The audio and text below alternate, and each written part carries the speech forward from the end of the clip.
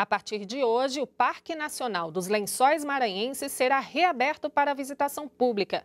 A abertura gradual já conta com este e outros quatro parques nacionais e pretende ajudar o setor de turismo.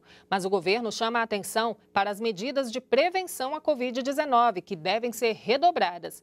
Entre elas, a venda de ingressos online e a redução no número de visitantes para o distanciamento necessário. A pandemia trouxe limitações e isolamento social, mas aos poucos já é possível respirar ar puro, passear ao ar livre.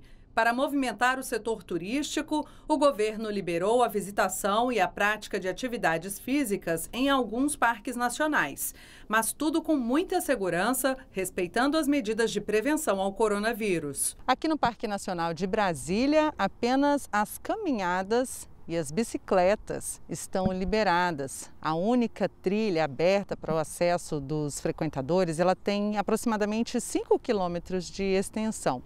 E no meio do caminho a gente encontra belas surpresas, como esse espaço aqui para meditação, mas todo mundo tem que usar máscara.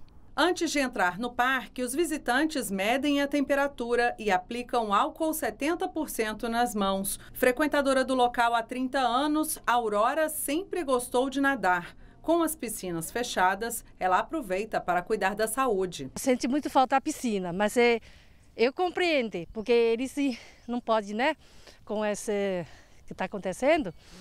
Para caminhar é bom. Também foi autorizada a visitação de outros parques nacionais, a Parados da Serra e Serra Geral, parques vizinhos no Rio Grande do Sul, conhecido pelo complexo de canyons, montanhas e cachoeiras, e o Parque Nacional do Iguaçu, no Paraná, que já recebe visitantes há 15 dias. A ideia é proporcionar um ambiente seguro para as pessoas poderem utilizar as nossas áreas protegidas e praticarem exercícios, fazerem o ecoturismo, contemplarem a natureza, enfim, um conjunto de ações que fazem bem para o corpo, para a mente e para a alma.